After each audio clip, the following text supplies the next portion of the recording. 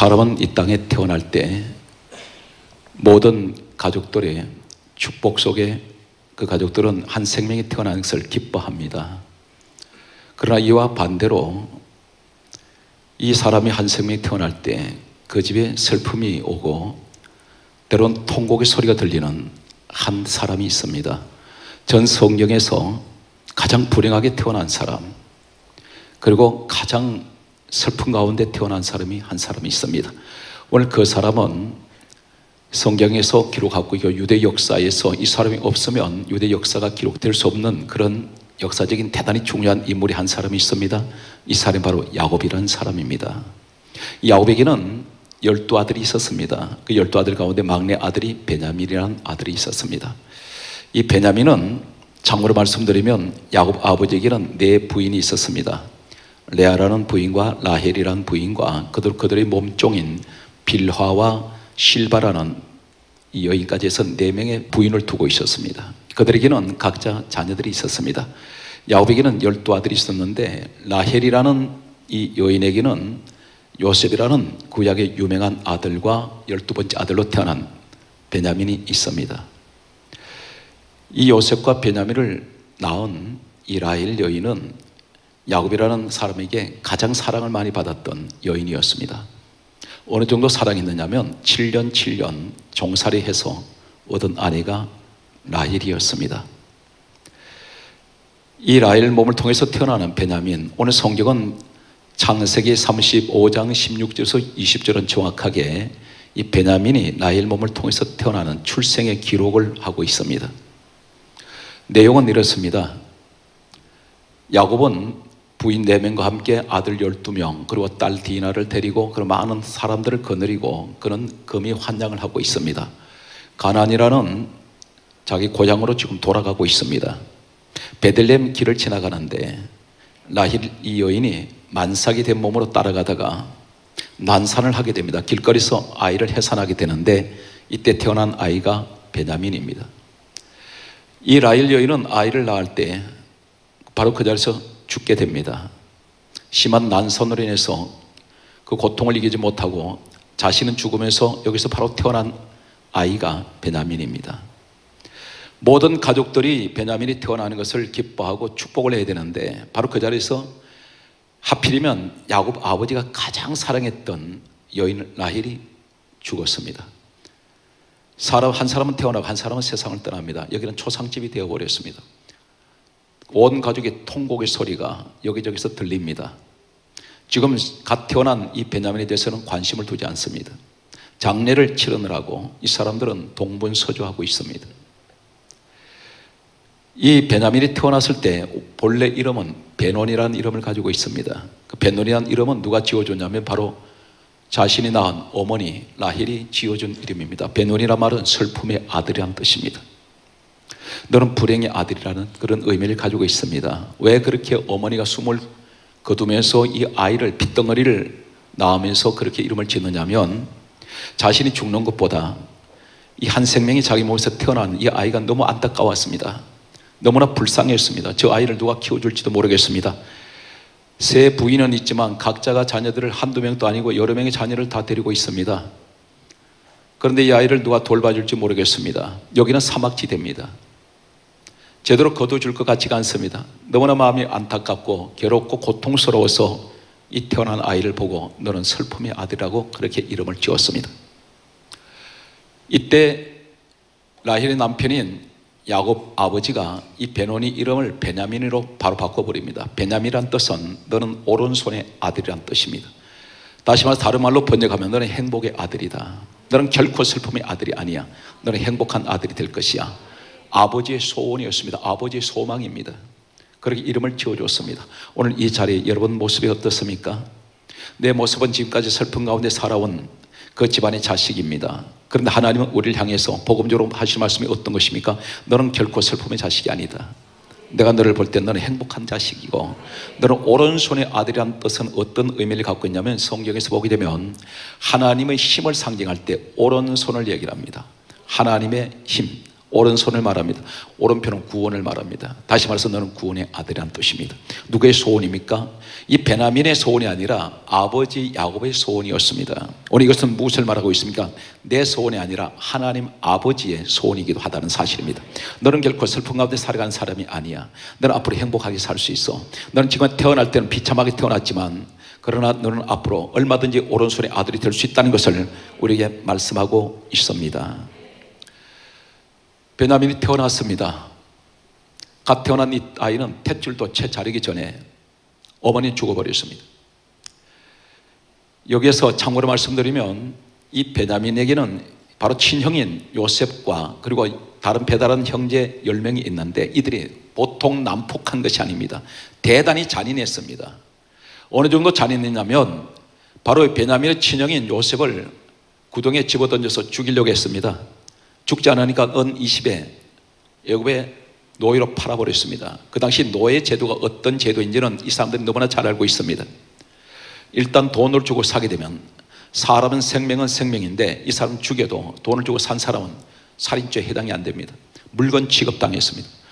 돈을 주고 산 사람은 이 생명을 마음대로 버릴 수 있고 죽일 수가 있고 마음대로 학대도 할 수 있습니다. 써다 버릴 수 있는 하나의 물건에 지나지 않았습니다. 이런 처참한 환경에서 남의 이국 땅으로 이 요셉을 끌려가게 만들어 버렸습니다. 야곱 아버지는 양치는 목축업을 했습니다. 물을 먹이려면 물가를 찾아가야 되는데 때로는 10리, 20리길을 걸어가야 됩니다. 사막길을 뜨거운 사막길을 걸어가다 보면 사람이 하루가 가고 이틀이 가고 사흘도 지날 수가 있고 때로는 양떼를 몰고 풀을 먹이러 떠날 때는 한 달, 두 달이 걸릴 수가 있습니다. 겨우 찾았던 그 목초지를 하루 먹이고 데려오지는 못합니다. 그곳에서 계속 정착하면서 양들 풀을 뜯길 수밖에 없었습니다. 이런 상황이 있을 때에 새 부인은 자기 자녀들을 돌보느라고 경황이 없습니다. 아버지는 한 번 양을 치러 나가 버리면 아들들 데리고 밖으로 나갑니다. 어떤 때는 혼자 남아 있는 이 베냐민은 혼자서 누워 있다가 제대로 아이가 자기 몸도 가누지 못합니다. 걸음마도 하지 못합니다. 기어 다닐 때 이 아이는 아무거나 손에 잡힌 대로 배가 고프니까 주스 먹을 수밖에 없습니다. 아이가 대소변도 가리지 못합니다. 형 요셉이 있을 때는 이 아이를 안기도 하고 업어주기도 했을 것입니다. 늘 두 형제는 늘 서름 가운데 형들의 눈치를 보면서 때론 쥐어박히기도 하고 욕도 먹기도 하고 어머니마저 없기 때문에 보통 무시당한 것이 아닙니다. 멸시당합니다. 늘 눈치밥을 먹으면서 아버지는 겨우 이 아들들을 사랑했지만 아버지 눈을 피하게 되면 온 가족들은 이 아이들은 늘 미움의 대상이 되기도 했습니다. 이런 상황 속에서 이 베냐민은 엎친 데 덮친 격으로 형 요셉이 17살이 갑자기 사라져 버렸습니다.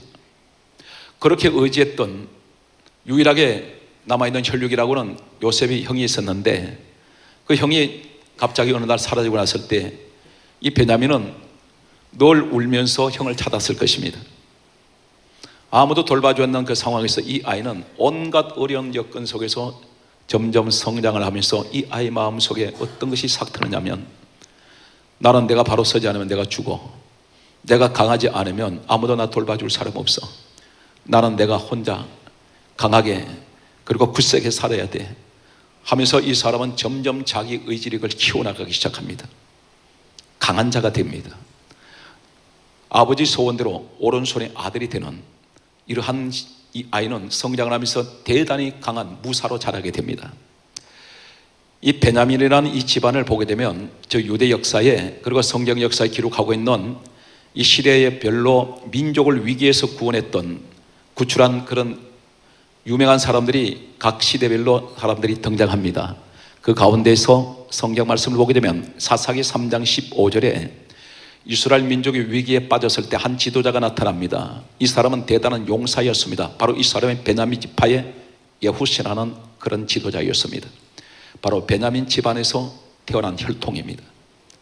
그 다음에 또 보게 되면 사무엘상 9장 21절 말씀을 보게 되면 여기 또 한 사람이 태어나는 것을 보게 됩니다. 이스라엘 초대왕 사울이라는 왕이 있습니다. 이 사울 왕이 바로 베냐민 지파의 사람입니다. 대단한 용사입니다. 역사를 보게 되면 이 사울 왕은 어떤 사람이냐 무술에 뛰어난 사람이었습니다. 단창의 명수로 역사는 기록을 하고 있습니다. 그만큼 싸움을 잘했던 전쟁에 능한 사람들이었습니다. 이 베냐민 지파에서는 굉장히 용감한 용사들이 많았고 고대에 무사들이 많이 나왔습니다. 계속해서 보게 되면 에스더 2장 5절에 보게 되면 모로덱이라는 사람이 있고 또 에스다라는 왕비가 있습니다. 이 사람들은 이스라엘 민족이 위기에 빠졌을 때 에스더가 그 왕비가 3일 금식을 통해서 모든 유대 민족을 회복시켰던 살려내는 그러한 사건들이 기록되어 있습니다.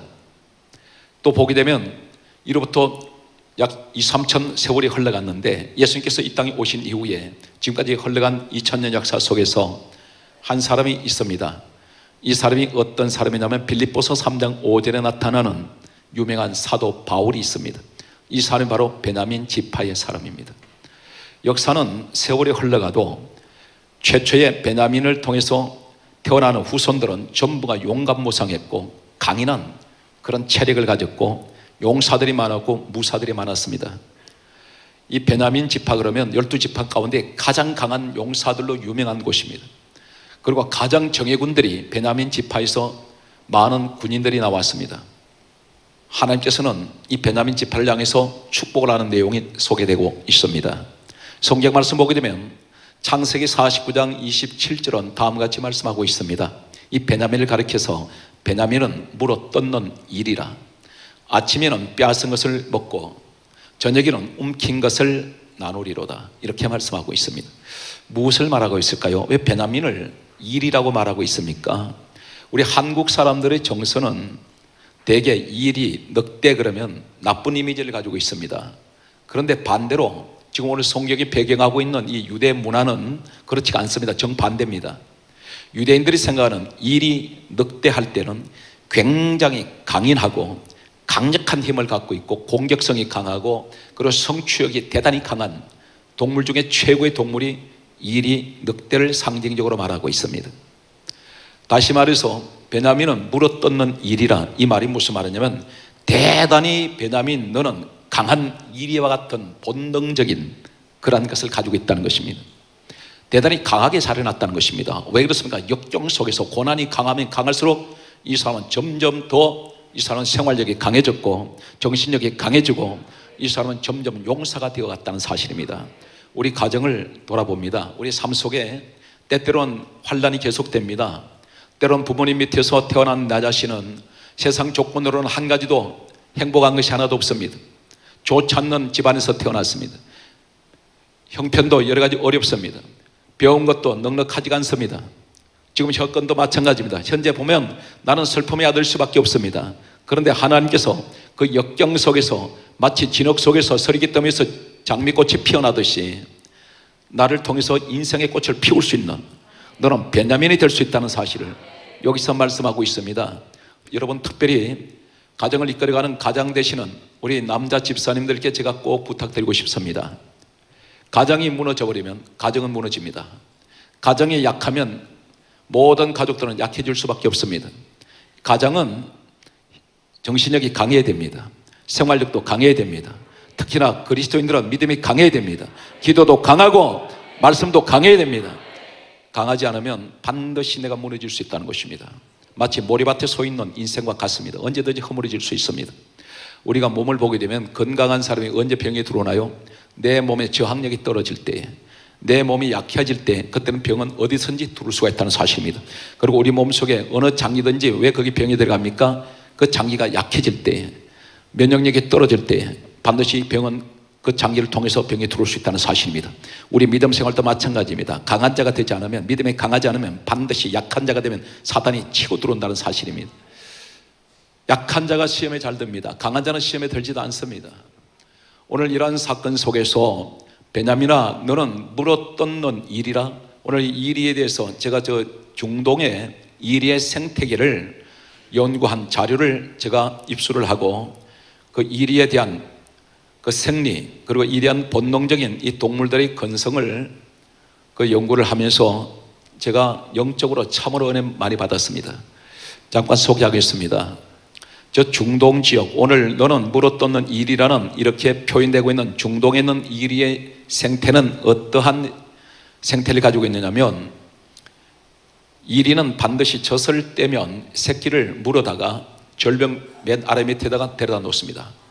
절벽 바닥 밑에 데려다 놓고 어미는 그 정상에 올라가 앉아 있습니다. 그 새끼를 절벽을 타고 올라오도록 기다리고 있습니다. 이 새끼는 올라오다가 수없이 떨어지고 또 떨어집니다. 피투성이가 될 때가 있습니다. 그런데 그럼에도 불구하고 어미는 계속해서 이 어린 새끼를 강하게 키우기 위해서 훈련시키기 위해서 절벽 밑에 데려다 놓습니다. 결국은 이 새끼들은 절벽 위로 정상으로 올라오게 됩니다. 우리에게 말씀하고 있습니다. 환경이 어떤 환경에서 태어났던 그것을 돌아보면서 나는 슬픔의 아들이라고 말하지 말고 그 자리에서 나는 강해질 수가 있으니 굳세게 살아갈 수가 있으니 스스로 너 스스로 강해지지 않으면 너는 무너진다는 것입니다. 그래서 아버지의 소원은 우리를 향한 이 시대의 하나님 아버지 소원이 우리에게 말씀하고 있습니다. 너는 오른손의 아들이 되어라.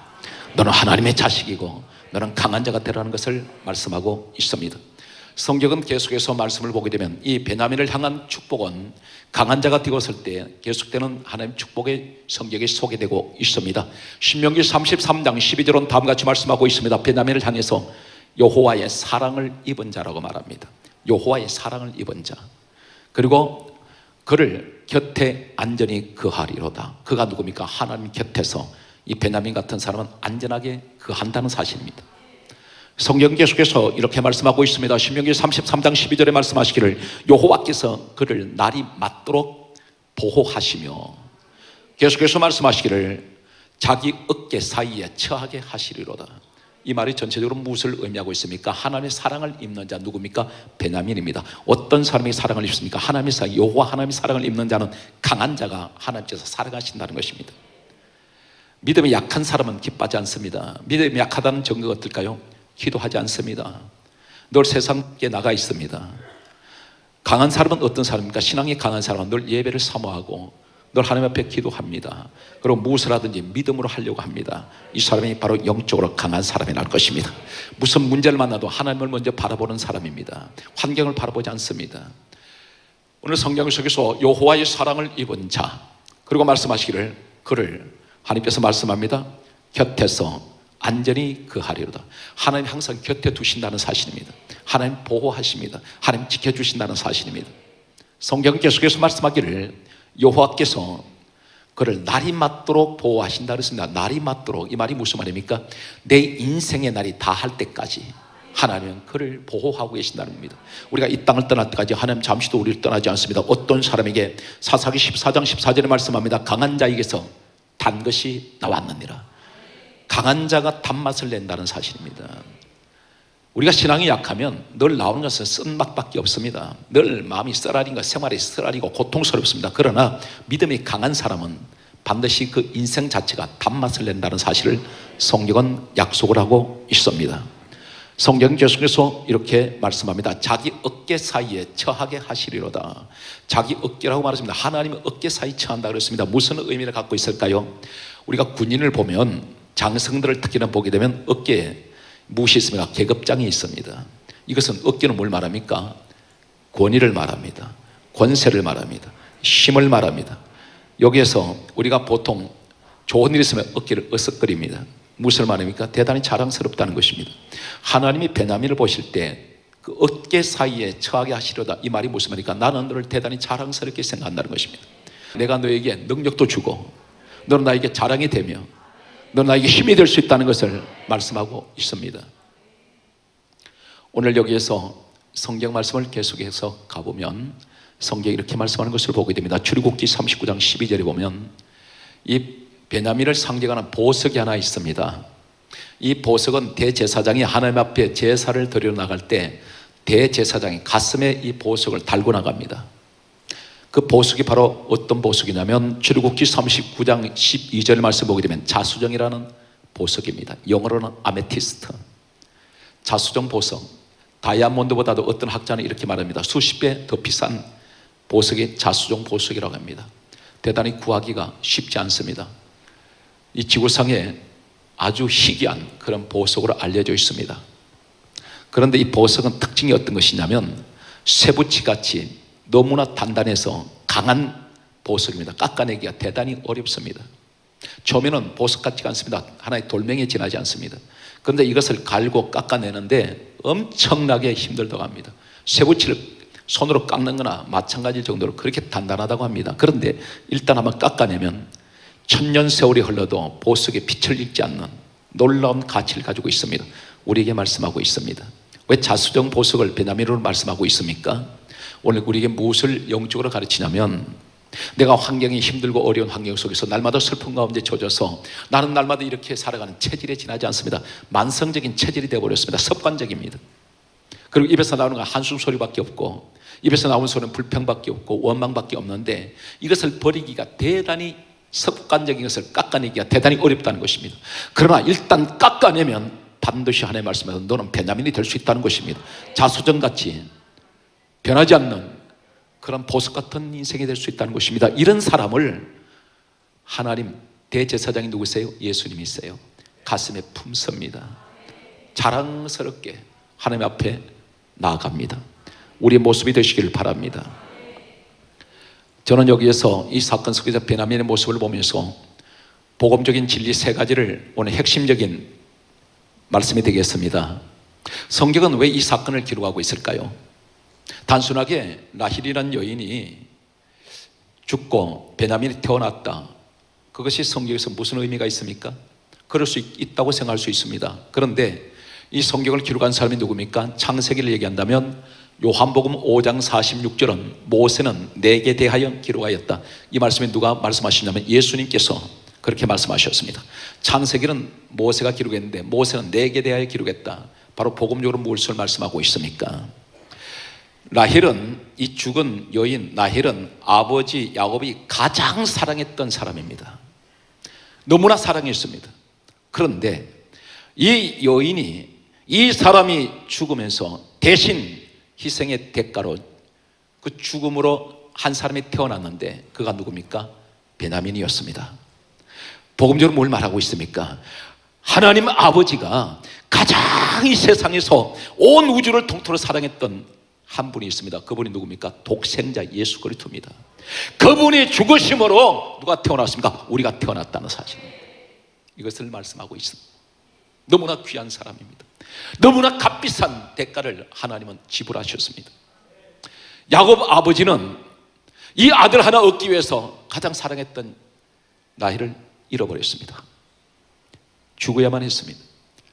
하나님 아버지는 우리를 얻기 위해서 예수님을 죽이셔야 했습니다. 여기서 또 한 가지 사실은 아버지 야곱은 베냐민을 볼 때마다 잊을래 잊을 수 없는 한 사람이 생각납니다. 누굽니까? 너 때문에 죽은 가장 사랑했던 사람 나해를 생각했을 겁니다. 그럼 항상 그를 생각할 때마다 베냐민을 불쌍하게 보았고 더 사랑할 수밖에 없었습니다. 복음적인 의미는 무엇을 말하고 있습니까? 하나님은 우리를 볼 때마다 누구를 생각하실까요? 우리 때문에 십자가에 처참하게 죽으셨던 예수님을 생각하십니다. 예수님을 생각하시면서 우리를 불쌍하게 보시고 우리를 더욱 사랑하시는 것입니다. 또 한 가지 진리는 어떤 것입니까? 이 세상에서 가장 온 세상 시대를 다투러 가장 강한 분이 한 분이 있습니다. 가장 강한 분, 그분이 누구십니까? 예수님이십니다. 왜 강하실까요? 십자가 사랑은 죽음을 초월하는 사랑입니다. 십자가 사랑만큼 강한 사랑이 없었습니다. 죄인을 위해서 대신 죽으신 그 십자가, 거기 못 박히신 예수 그리스도 그 사랑만큼 강한 사랑은 이 세상에 없습니다. 이 사랑이 바로 아가페의 사랑입니다. 우리는 오늘 베냐민처럼 태어났습니다. 이제는 하나님의 소원이 무엇일까요? 너는 슬픔의 아들 베노니가 아니고 너는 베냐민이다. 하나님 우리에게 말씀하고 있습니다. 너는 강한 자가 되어라. 강한 자가 되어라. 너는 결코 슬픔의 아들로 태어난 사람이 아니야. 이제는 예수 안에서 태어났기 때문에. 이후에 이 베냐민은 어떻게 됩니까?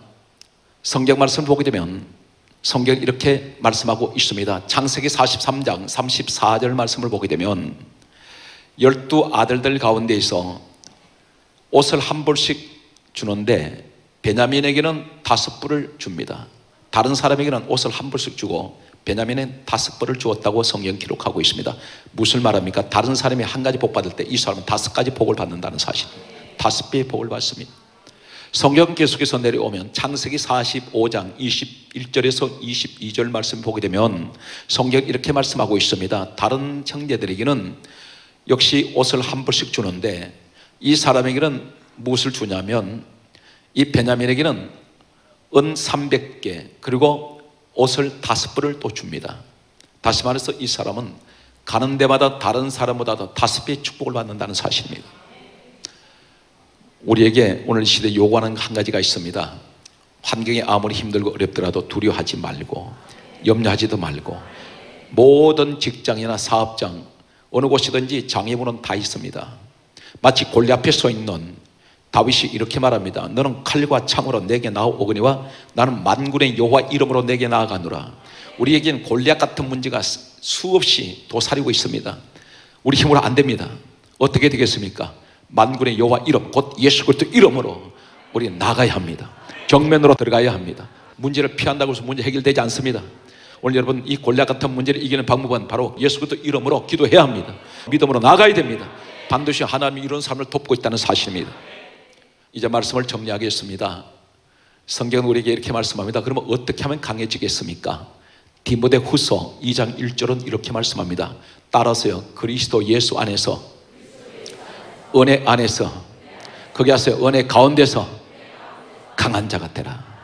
언제 예수 그리스도 안에 있을 때 단순하게 예수 안에 있는 것이 아니라 은혜 속에 있어야 됩니다. 그래서 날마다 날 말씀을 은혜 받고 날마다 예배를 통해서 은혜 받고 기도하면서도 은혜 받고 은혜는 어디서 옵니까? 요한복음 1장 17절에 은혜와 진리는 예수 그리스도 말에 말미암아 온 것이라 했습니다. 주님이 주신 이 은혜 너무나 값비싸고 비싸고 돈으로 계산할 수 없어요. 이 은혜가 오게 되면 마음이 담대해집니다. 은혜가 오면 기쁨이 옵니다. 환경이 두렵지가 않아요. 오늘 여러분 은혜 생활 속에서 오늘 시대를 살아가는 베냐민이 되시기를 주 예수 그리스도 이름으로 축복합니다.